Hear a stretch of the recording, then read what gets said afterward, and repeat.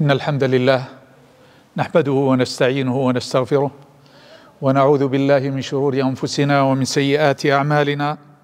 من يهده الله فلا مضل له ومن يضلل فلا هادي له وأشهد أن لا إله إلا الله وحده لا شريك له وأشهد أن محمدا عبده ورسوله صلى الله عليه وعلى آله وصحبه ومن سار على نهجه واقتفى أثره إلى يوم الدين.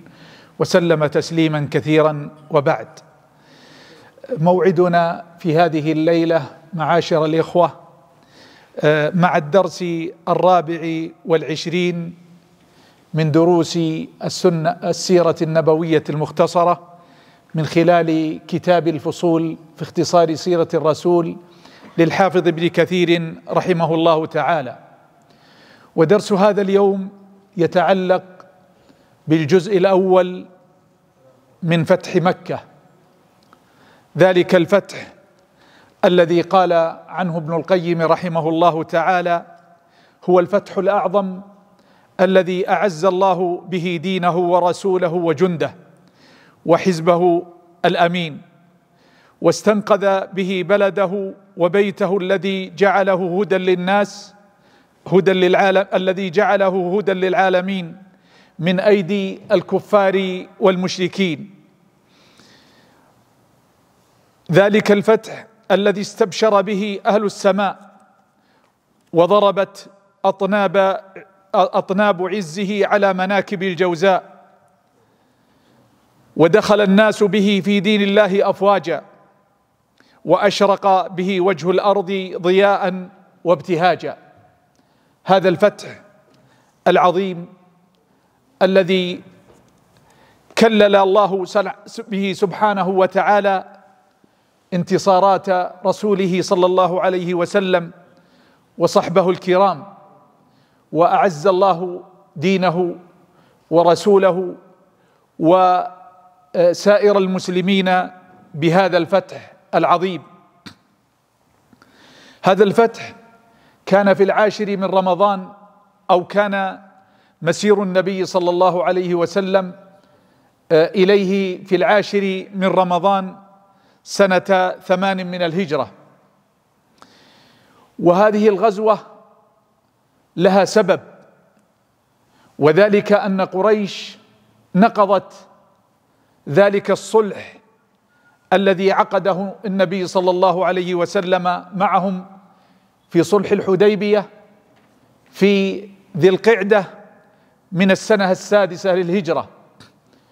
وتضمن بنودا في ظاهرها كلها لصالح قريش إلا أن قريش أدركت أن هذه الشروط وأن هذا الصلح كان خيرا للمسلمين ووبالا على قريش ومن تحالف معهم. ولذا مع كون هذا الصلح مدته عشر سنوات إلا أنه لم يمضي أقل من سنتين إلا وقد نقضت قريش ذلك الصلح. وذلك أنهم أعانوا حلفاءهم الذين بيتوا حلفاء رسول الله صلى الله عليه وسلم من قبيلة خزاعة وقتلوهم حتى داخل الحرم. وكانت قريش ترفدهم بالسلاح والرجال. فخرج سيد خزاعة إلى المدينة يستنصر رسول الله صلى الله عليه وسلم وهو عمرو بن سالم الخزاعي. ولحقه بعد ذلك بديل بن ورقاء الخزاعي. وقالوا في قصيدة لهم في آخرها هم بيتونا بالوتير هجدا وقتلونا ركعا وسجدا. فقال النبي صلى الله عليه وسلم ارجع فقد نصرت يا عمرو بن سالم. وقد جاء في بعض الروايات أن النبي صلى الله عليه وسلم كأنه أخبر بالوحي فبدأ الاستعداد قبل وصول عمرو بن بن سالم بثلاثة أيام. وبدأ يتجهز وحتى أن أبا بكر رضي الله عنه دخل إلى بيت عائشة وقال ما هذا الجهاز؟ قالت والله لا أعلم. طلبه رسول الله صلى الله عليه وسلم ولا أعلم وجهته حتى إن أبا بكر قال ليس هذا وقت قتال بني الأصفر فأين يريد رسول الله صلى الله عليه وسلم؟ فلما جاء عمرو بن سالم وذكر ما حصل لهم تبين لهم أن هناك وجهة إلى مكة. مع أن النبي صلى الله عليه وسلم أخفى هذا الامر عن عامة أصحابه. وقال اللهم عمي الأخبار عليهم يقصد قريش حتى نبغتهم وهم لا يعلمون أو كما قال صلى الله عليه وسلم. فخرج النبي صلى الله عليه وسلم في جيش عظيم. تعداده عشرة آلاف. وما كان النبي صلى الله عليه وسلم خرج بمثل هذا الجيش قبل ذلك. وفي الطريق لقيه أب عمه العباس مسلما. ثم بعد ذلك أيضا في أثناء الطريق لقيه ابن عمه أبو سفيان بن الحارث بن عبد المطلب ومعه عبد الله بن أبي أمية وهو أخو أم سلمة من من أبيها أو من أمها. فأعرض عنهما النبي صلى الله عليه وسلم وطردهما.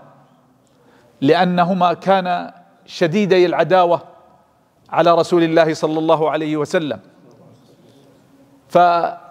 فنصحتهما أم سلمة رضي الله عنها أن يأتي النبي صلى الله عليه وسلم من قبل وجهه ويقول أبو سفيان ابن الحارث تالله لقد آثرك الله علينا وإن كنا لخاطئين.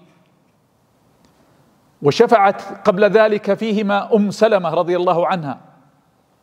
فقال النبي صلى الله عليه وسلم لا تثريب عليكم اليوم يغفر الله لك يغفر الله لكم وهو أرحم الراحمين وقبل إسلامهما وأسلم رضي الله عنهما. وواصل رسول الله صلى الله عليه وسلم مسيرة. وكان أبو سفيان وكان العباس رضي الله عنه يخشى أن يبغت النبي صلى الله عليه وسلم مكة وأن يحصل لهم مقتلة عظيمة وهم لا شك قومه قبل ذلك. فخرج على بغلة رسول الله صلى الله عليه وسلم حينما اقتربوا من مكة يلتمس لعل أحد الرعاة أو احد الحطابين أو أحد يخبرهم أن رسول الله صلى الله عليه وسلم قادم. عفوا قبل ذلك حينما كان النبي صلى الله عليه وسلم يتجهز حصلت حادثة فيها معجزة نبوية. وذلك أن حاطب بن أبي بلتعة رضي الله عنه وهو من خواص أصحاب النبي صلى الله عليه وسلم وممن شهد بدرا كان ممن علم بحقيقة وجهة النبي صلى الله عليه وسلم. فأراد أن يكسب يدا على قريش. مع علمه ويقينه أنهم لا يستطيعون أن يواجهوا رسول الله صلى الله عليه وسلم. فكتب لهم كتاب يخبرهم أن رسول الله صلى الله عليه وسلم قادم إلى مكة وأرسله مع امرأة مشركة. فجاء الوحي وأخبر رسول الله صلى الله عليه وسلم بما حصل. فبعث الزبير وعلي والمقداد بن الأسود. والحديث في البخاري. وقال إيتوا روضة خاخ روضة بين مكة والمدينة فستجدون فيها ضعينة والضعينة هي المرأة على الجمل أو على الناقة. فإن معها كتاب مرسل إلى قريش ائتوني بالكتاب. فذهبوا على خيلهم مسرعين وفعلا لما وصلوا إلى تلك الروضة وجدوا هذه المرأة. فأنزلوها وقالوا أعطنا الكتاب الذي معك. فقالت والله ما معي من كتاب. فقال علي رضي الله عنه والله ما كذب رسول الله صلى الله عليه وسلم. والله لتعطيني الكتاب أو لنجردن الثياب. يعني نعريك من ملابسك نفتشك تفتيش كامل. وفي رواية لتعطينا الكتاب أو لنقتلنك. فلما رأت العزيمة منهم استأذنت منهم أن يبتعدوا فحلت قرونها كانت يعني آه، الإخفاء وصل إلى أنها أدخلت الرسالة داخل شعرها المقرون فحلت قرونها وأعطتهم الكتاب فرجعوا به إلى النبي صلى الله عليه وسلم. فجمع النبي صلى الله عليه وسلم خواص أصحابه وقرئ الكتاب بحضرتهم. فلما قرئ تغير وجه النبي صلى الله عليه وسلم وتغير وجه عمر رضي الله عنه. وقال دعني يا رسول الله أضرب عنقه فوالله لقد نافق. فقال النبي صلى الله عليه وسلم مهلا يا عمر؟ إن الله اطلع على أهل بدر فقال اعملوا ما شئتم فقد غفرت لكم وحاطب ممن شهد بدرا. فقال عمر رضي الله عنه الله ورسوله أعلم. فهذه الحادثة فيها معجزة أن الله أخبر رسوله صلى الله عليه وسلم بهذا الأمر كي لا يفتضح أو كي لا يعرف السر الذي أخفاه النبي صلى الله عليه وسلم. المقصود أن النبي صلى الله عليه وسلم حين اقترب من مكة وذهب العباس يتحسس لعله يجد أحدا فوجد أبا سفيان ووجد بديل بن ورقاء أو آه، آه، آه، حكيم بن حزام ومعهم رجل ثالث. فناداهم العباس وأخذ أبا سفيان وكانوا في الليل وذهب به إلى معسكر النبي صلى الله عليه وسلم وكان جيش عظيم. حتى إن آه، أبا سفيان تعجب من هذا الجيش وهذه النيران العظيمة. فأقبل وكان يمر بجماعات المسلمين فيقولون بغلة رسول الله وعم رسول الله ولا يعطون الأمر. فلما مروا بنار عمر بن الخطاب عرف أبا سفيان. قال عدو الله أبو سفيان وأخذ سيفه وانطلق.